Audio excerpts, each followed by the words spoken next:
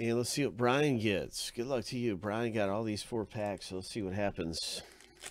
Hit something big for Brian in this thing. Let's do this, man. Let's hit something big. Bobby Bradley. Chrome. Refractor.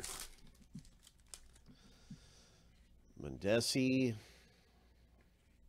Oh, nice hit. Ho. Ho. 85 style. Robert rookie. All right.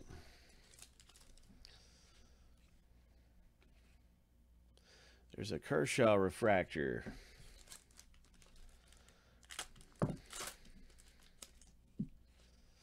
Walker Buehler, Ohtani, Bryan Reynolds, rookie, and a Hosmer. So some pretty good packs there. Not bad at all. You got some great rookies. Brian